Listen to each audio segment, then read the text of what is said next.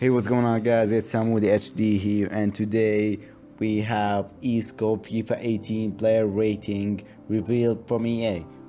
So, Isco is a central midfielder that plays for Real Madrid and Spain national team. He was very impressive in both of the teams, and he started in the 11 uh, quite a few times in Real Madrid.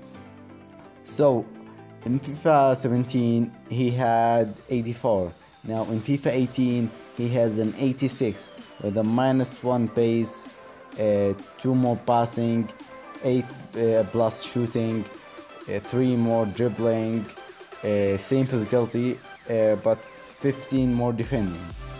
And the skill moves were downgraded from 5 stars to 4 stars. If you like this video, leave a like, subscribe, and I'll see you guys in the next video. Goodbye.